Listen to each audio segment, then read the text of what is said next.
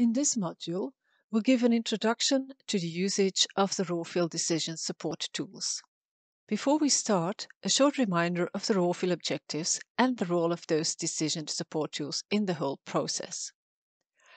Start with Why was a global bestseller written by Simon Sinek. He presented the idea that great leaders inspire others by putting the why, the purpose, before the how, the process, or the what, the product. We could start with a similar question Why should we use decision support tools? Or maybe we should go back a bit earlier in the process of decision making.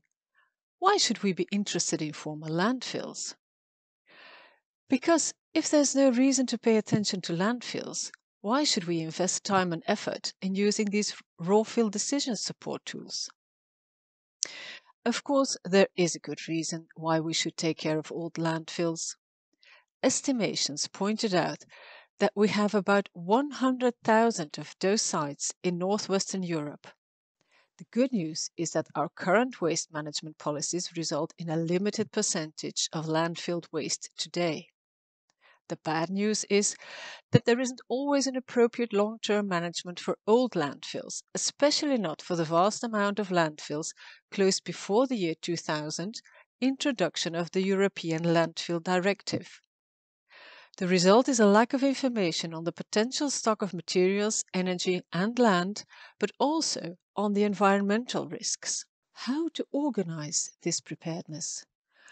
First, let's get back to the facts 100,000 sites. Suppose that a full scale investigation, remediation, and preparation of the redevelopment project of an average landfill site will take five years two full-time equivalents per year, and an overall cost of half a million euro. You don't need rocket science to find out the requested resources during the common period are 200,000 qualified employees per year and 50 billion euro. Nor the human resources, nor the financial resources, nor the technical resources are available. This means that we have to make choices and the Rawfill decision support tools will facilitate this process. Making priorities is based on the content of the landfill and the context wherein they're situated. These data are collected and stored in the Enhanced Landfill Inventory Framework and exported to the decision support tools Cedalion and Orion. This two steps concept is chosen to limit the efforts in the early stage of characterization and evaluation. Rawfill introduced this method in view of large scale prospection campaigns. The, usual, the user will get first a ranking of the evaluated landfills and an estimation of the landfill potential for recycling of materials, recovery of energy, and reclamation of land. Even if you're not evaluating a database with hundreds of thousands of sites, this Cedalion tool will give you also a result of an individual landfill. Keeping in mind that many landfills will have low potential in the short term and the fact that remediation and redevelopment processes are time consuming, the Rawfill scheme offers also quick responses and interim uses, these kind of actions allow you to bridge the time gap between the prospection and the redevelopment phase. The Orion tool is the next step and aims at evaluating the most promising landfills. Rawfield has set up a kind of plug-in system, the Dashboard Dynamic Landfill Management. This concept integrates relevant international available models with region-specific models. The final result of the Orion tool is a go, no go answer for setting up a business model for the valorization of the landfill site. This outcome answers the question what's the future of this landfill? The sustainable redevelopment of landfill sites is not virtual reality. In the Landfill Miner Guide, you'll find pilots and full scale examples. When the tool opens, please go to the Introduction mm-hmm. tab when you use the tool for the first time. Here you can find a brief description of the tool as well as a summary of its purpose, the workflow, and the contributing partners. The goal of the Cedalion tool is twofold. First, discover the LFM potential for existing landfills. Second, update the existing information available for a landfill provided by local authorities through a site visit with the Cedalion Field app. In the public version of the tool, the site visit option is not included. The workflow of Cedalion is pretty straightforward. An the original amount of data, let's call this general data, is provided by a local government or can be entered manually from, for example, your own archives following the database format. These data can be used to make a preliminary ranking of the landfills. We encourage you to check the data on the landfill during a site visit. After a comparison between the general and the newly collected data, the new information can be used to update the general data in the working database. It is the information present in the tab Working Database that will be combined with the rawfill scoring to give a final ranking on the enhanced landfill mining potential of the listed sites. We will now proceed through the whole tool tab by tab. The content of the general database is the primary source of information. When you start using the ranking tool, you can change the data in the working database, but the data in the general database will not be changed. The information per landfill is composed of general information and six different criteria type, age, volume, use, accessibility, and surroundings. In case you need to enter information yourself, it's important to notice that the Cedalion database has a specific format. The information per landfill is composed of general information and six different criteria type, age, volume, use, accessibility, and surroundings. It is not necessary to insert data in every field, just complete the database with the most accurate information you have. The criterion General Information contains the Dynamic Landfill Management Identification, abbreviated by DLM ID. This will not automatically be assigned when a new record is entered. Please use existing unique landfill IDs when already assigned. If you paste a whole set of records at once, be sure that you attribute unique IDs. Additional general information can also be entered, like the landfill name, municipality, postal code, street, house number, cadastral codes and the X and Y co oh, coordinates. Sorry. The criterion type deals with the type of waste that is present in the landfill. You need to indicate this either with the capital letter Y or N. The provided types of waste are municipal solid waste, industrial waste, dredging materials, wastewater treatment sludge, inert materials, fly ash, asbestos, metal slags, mining waste, military waste, and other. Additionally, the tools ask to give information on the nature of the mixed waste in case you entered multiple types of waste. Either this is heterogeneous, layered, or not applicable when you are dealing with a mono landfill. When you indicated not applicable in this column, you should enter yes in the column next to it since it indicates you're dealing with a mono landfill or not. Finally, the last column questions if harmful waste has been spotted at the surface of the landfill during site visits. This also is indicated with a Y or N. The age of the landfill reflects the period when depositing activities took place. These are classified into five periods before 1955, between 1955 and 1980, between 1980 and 1999, 1999 documented and 1999 not documented. In case your landfill was active in more than one of these periods, choose the one that represents the highest amount of active years or the highest amount of deposited waste. Additional important information is the volume of the landfill. You can choose to enter a surface area, depth below ground level as a negative figure, and height above ground level, after which the volume is calculated automatically. You can also just enter the volume without knowing the other variables. Use defines the current situation on site. For the type of cover, you can choose soil when no synthetic cover is present, geomembrane when a synthetic cover is present, or mineral cover when bentonite or something similar is used. The surface conditions are basically what is or was growing on the surface during past or present field visits. You can choose between grass, shrubs, trees, rough, which needs to be interpreted as rugged terrains with pioneer vegetation, or other. For slope angle, you need to select in view of the steepest slope that can be found on the terrain.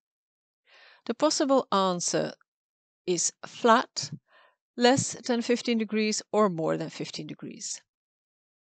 If any erosion is present, please indicate this in the next column by entering none, weak or severe if your landfill could encounter erosion in the future, you could also enter potential as an answer. Accessibility is important in the light of the redevelopment or mining activities on site. However, only the first two columns are important and included in the raw fill scoring. The other three are just a reminder of alternative transportation methods for road traffic. Are there paved roads on and around the landfill? Additionally, are these roads suitable for heavy traffic? Please answer with yes or no.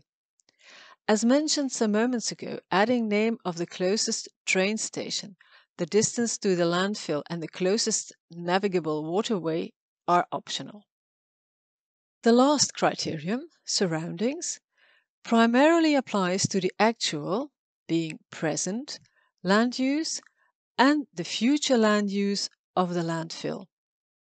First, the current situation is questioned, starting with the presence of drinking water protection zones. This can either be none, acceptable, severe, or critical, depending on the proximity of drink water protection zones.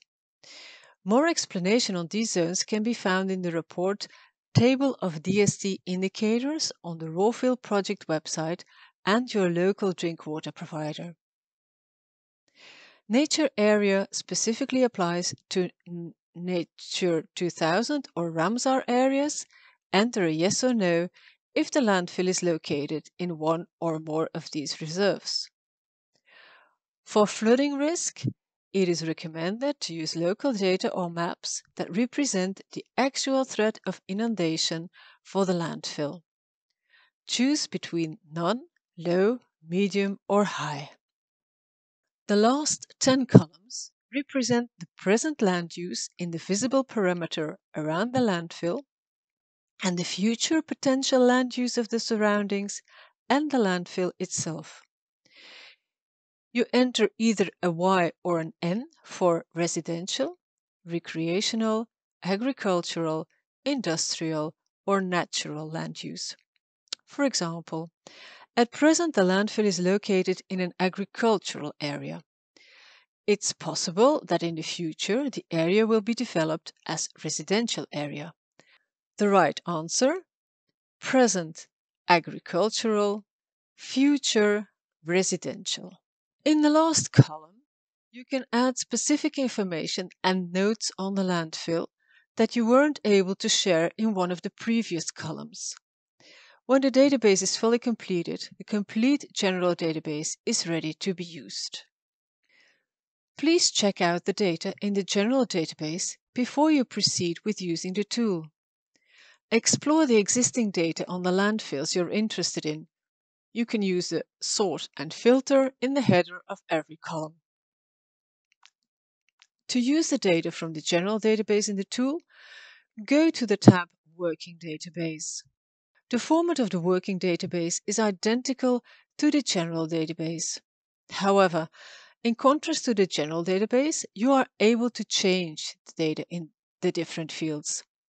The ranking tool only works with the data in the working database copied from the general database with the predefined buttons. In the header of the tab Working Database, you can read how to copy the data from the general database in your own working database. You can copy the complete database or insert data by DLM ID the unique dynamic landfill management identification per landfill, or by municipality. You can also choose to copy all data from the working to the general database. If you click the Reset button, the working database will reset itself. Let's test this. As you can see, the database is empty again. Repeat the Copy All Data command to upload the data again in the working database. At this stage, you can already calculate a ranking by clicking on the lowest button, Ranking. This button will automatically send you to the tab ELFM Ranking. The button Show Validation Circles will help you check if the data used to calculate the ranking are valid. The function will highlight errors and select empty fields which are used for the calculation of the ranking. Please note that in this working database, any additional rows you will add in this tab will not be taken into account in the calculating of the ranking. Suppose the data you received or entered in the general database are outdated, a not so far-fetched idea. A site visit with the Cedalion Field app encourage you to collect up-to-date key information for the tool. The online app can be launched in two ways. First via the link and via the QR, QR code. Now click on the link to go to the online application. Before you go on the field to collect data for specific landfills, withhold the DLM ID of the landfills.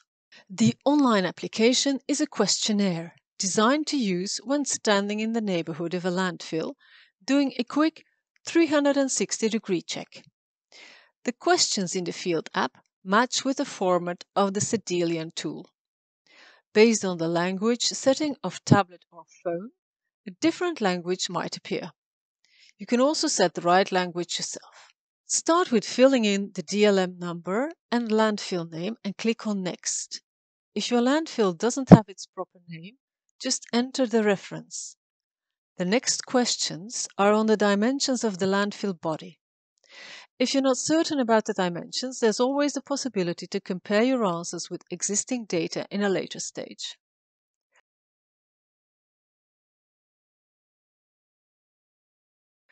On the following pages, you will be questioned on use, accessibility, and surroundings. Take your time to go through the questionnaire. Choose your answers and click on Next until you arrive at the final page where you can submit the questionnaire.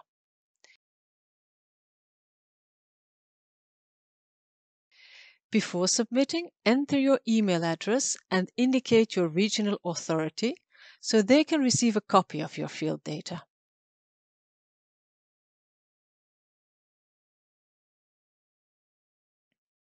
To proceed, please check your email and open the Excel attached to the mail.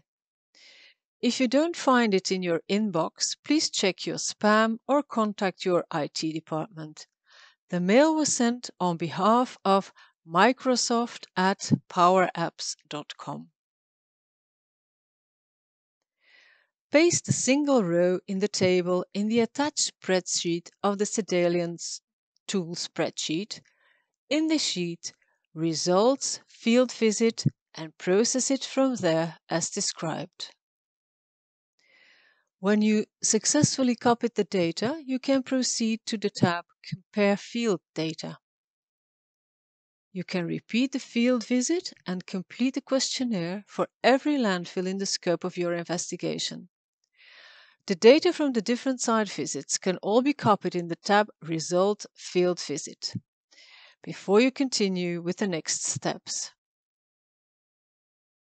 In the header of the tab Compare Field Data, you can carefully read the instructions. If you observe differences between the data you collected and the already available information, you can choose to run the ELFM ranking based on the old data or with the newly gathered field data.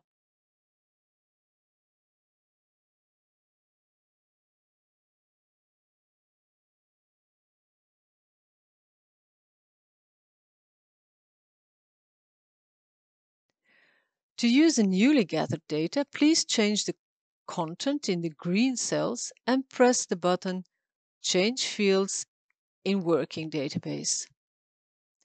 The button Show Validation Circles will help you check if the data used to calculate the ranking is valid. The function will highlight errors and select empty fields which are used for the calculation of the ranking. To calculate or recalculate the ELFM ranking, please proceed to the tab ELFM Ranking. You will now be able to check the ELFM ranking of all the landfills. You can click the button Recalculate Ranking to make sure the ranking is calculated with the data actually present in the working database. More information on how the ranking is calculated you can find in the Landfill Miner Guide. Use the information on the ELFM potential to discuss redevelopment possibilities for the landfill with local and regional administrations. It is possible that besides the ranking, also a quick response appears.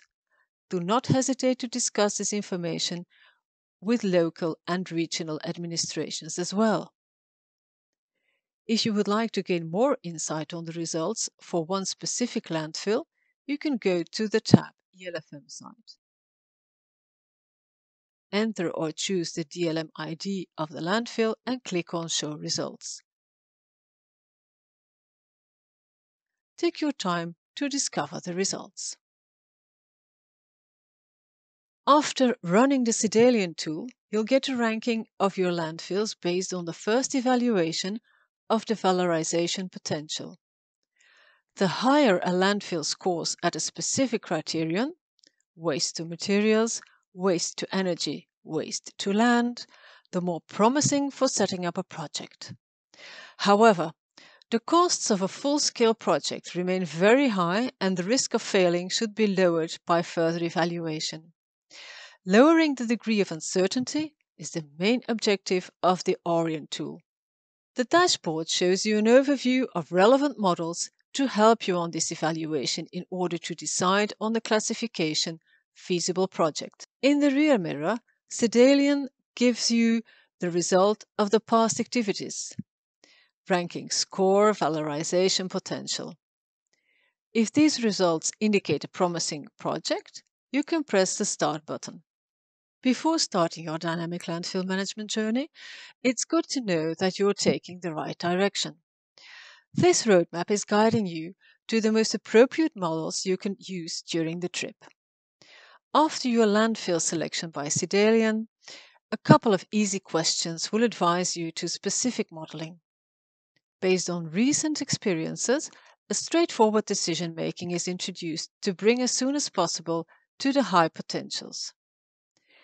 Due to low commodity prices and demand, the recycling of waste is only put forward if we are talking of monofills, high homogeneity, well known characteristics, easy to process. In all other cases, waste recycling is only considered as a valuable option if the volume is limited, easy to excavate and process, and the land value is a financial driver. The selected models explain their own strengths and deal with a specific item of the valorization and or revitalization of the landfill site.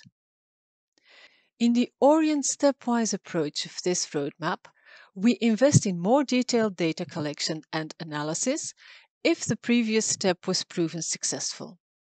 For example, OnToll, online tool for the evaluation of landfill mining projects, is a very powerful model and provides several default values in order to make it work with limited datasets. This implies a higher uncertainty, but in case of a good result, it's worthwhile to invest in better data and replace these defaults. Now that you've discovered the options of the roadmap, let's go back to the dashboard to illustrate what's behind the buttons. The central part with the steering wheel is symbolizing the landfill. The features inside are useful to evaluate the characteristics and fate of the landfill waste. LF gas links you with a model designed to predict landfill gas production. The soil risk button has no link because each region or country has its own specific tools.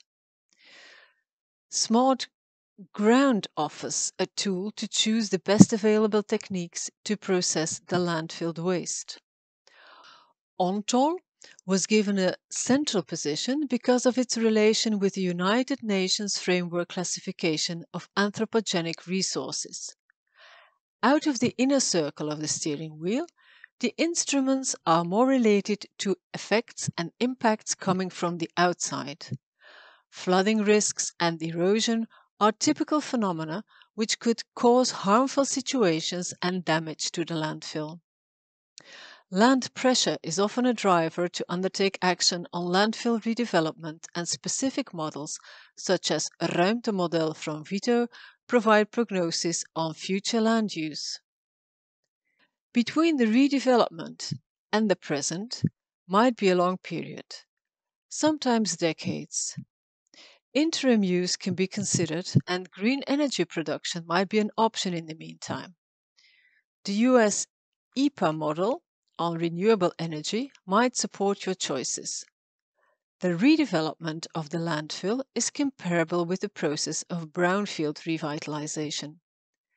The Brownfield Opportunity Matrix is a relevant tool. When the redevelopment starts, quite often large quantities of waste or recycled materials must be put on transport. Many countries have specific tools to choose the most sustainable option. The dashboard can be customized in a more extensive way to provide you with all the relevant models and tools. The modeling of Cedalion and Orion also contributes to the communication process. The classification of the landfills and the proposals for revitalization projects are well underpinned by data which can help you to communicate with the different stakeholders. In the Landfill Miner Guide, more information and examples are available. Please communicate your findings with the Rawfill partner